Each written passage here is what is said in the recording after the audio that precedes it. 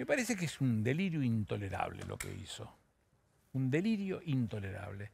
Eh, la mejor forma de armar el manual para quedar como el culo con todo el mundo, porque el peronismo lo repudió, porque la oposición lo repudió, porque me parece un espanto lo que hizo respecto de los jefes del Estado Mayor del Ejército, de la Armada, de la Fuerza Aérea, que están haciendo esfuerzos denodados para reinsertar y lo están consiguiendo las Fuerzas Armadas en el pueblo al que pertenecen, con el jefe del Estado Mayor Conjunto, que con mucho criterio sacó un tuit este, rechazando los dichos de él.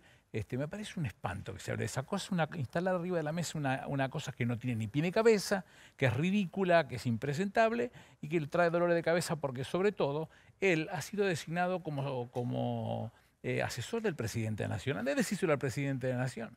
Y si el presidente de la Nación no quiere hacer nada, él sabrá por qué no quiere hacer nada, con lo cual él no tendría por qué haber hablado. Calle, señor, no tiene nada que hacer. Usted deja al presidente que haga lo que tenga que hacer. Pero lo dijo por, porque, porque tiene alguna... No me des ninguna explicación. Vamos a preguntarte, yo te la doy.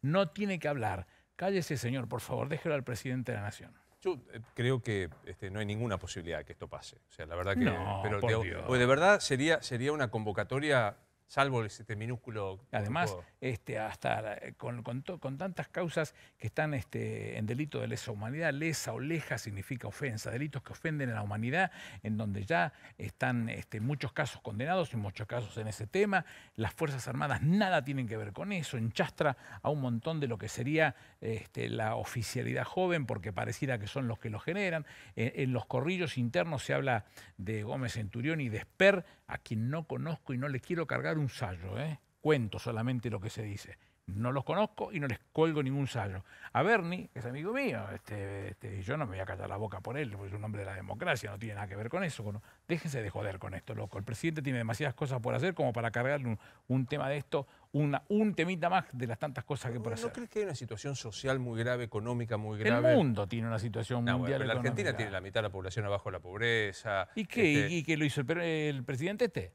esto es lo que encontró. Claro, pero, cuando comienza a transformarlo, pero, cuando comienza a transformarlo se encuentra con una pandemia. Y en el medio de la pandemia no solamente trabajó por la pandemia, para tener lo que tiene hoy, 172 muertos por millón, este, la realidad es que estás viendo un Chile con casi 500, un Brasil con casi 500, un Estados Unidos con casi 600. Estamos siendo el noveno país con infectados por millón, ¿eh? Sí, está bien, pero bueno, no nadie dijo que iba a ser mago. Digo que el esfuerzo ha sido muy grande para evitar toda la cantidad posible de muertos posible y, uno siempre en eso quisiera abrazar a las familias que les ha tocado pasar por ese momento desagradable, pero el esfuerzo hecho por el Estado ha sido muy grande y el presidente se lo cargó al, hombro para encontrarle soluciones a ese bien, tema. Como debe ser. Ahora, económicamente a todos los que no pusieron cuarentena les fue peor que a la Argentina con cuarentena. No es que la Argentina es una isla, no es una isla, tiene complicaciones, este, ha, tenido que participar fuertemente el Estado conforme el artículo 75, inciso 19 mm. de la Constitución que refiere al desarrollo económico, hay que poner plata y esa plata es a fondo perdido, es